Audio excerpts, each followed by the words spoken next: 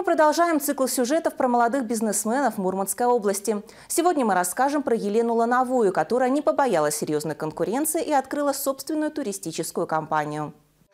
Идея создать свою туристическую компанию Елене Лановой пришла во время поездок с друзьями по Заполярью. Так почему бы не совместить приятное с полезным, подумала девушка и около года назад решила начать свое дело.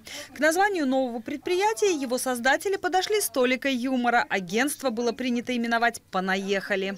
Может быть, поэтому девушке всего за год удалось добиться немалых результатов. И это несмотря на большую конкуренцию, которая уже существует в сфере туруслуг региона. Работать абсолютно несложно, потому что э, каждому приходит свой клиент. То есть вот на полном серьезе каждому, э, каждой компании приходит свой турист. То есть наши туристы с нами всегда одинаковые по духу, нет недовольных клиентов, они всегда такие же, как мы, заводные, такие же активные.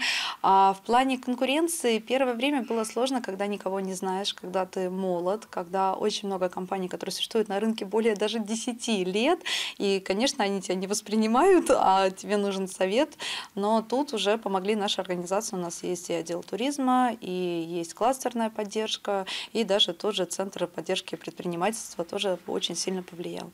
Вопреки расхожему мнению, Кольский север прельщает не только падких на экзотику жителей Москвы и Санкт-Петербурга. Посмотреть на Заполярье приезжают гости даже из Колумбии. Ну а среди азиатских туристов так вовсе наш регион считается почти Меккой. Это направление старается развивать и Елена. Недавно она презентовала свою компанию на выставке в Сингапуре и Японии.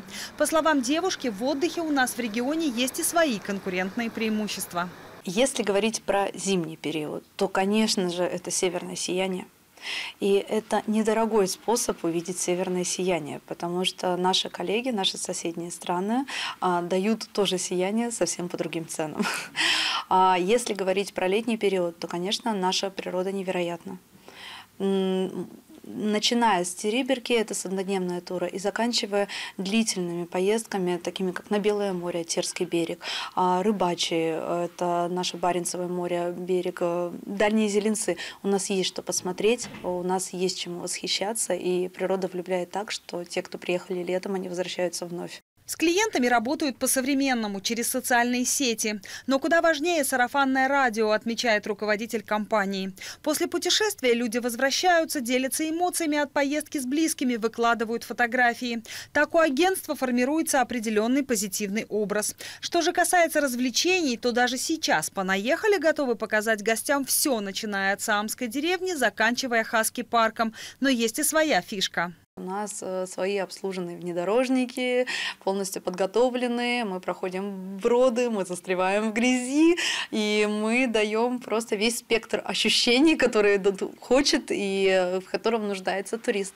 Вложения в бизнес не заканчиваются, шутит Елена. Она участвовала в нескольких грантовых конкурсах, но больше всего, по словам девушки, ей помогли в Центре поддержки предпринимательства. Специалисты которого разработали компании «Логотип», подготовили информационную печатную продукцию для презентации за границей, консультировали по разным вопросам. Наша задача максимально а, э, оказать ну, меры господдержки, которые необходимы нашему бизнесу, э, значит, на его развитие и на ну, значит, решение деятельности. Наш бизнес молодеет, э, становится более активным, значит, лучше начинает в общем, ориентироваться в современных значит, тенденциях на уровне России, в мире и начинает лучше контактировать с клиентами как в России, так и за рубежом что является очень положительным аспектом в деятельности любого бизнеса. Конечно, пришлось и самим попотеть над тонкостями организации туристического бизнеса. Елена и партнеры вложили в дело более двух миллионов рублей, и это далеко не предел. Впрочем, предприниматели предпочитают развивать свой бизнес без помощи инвесторов.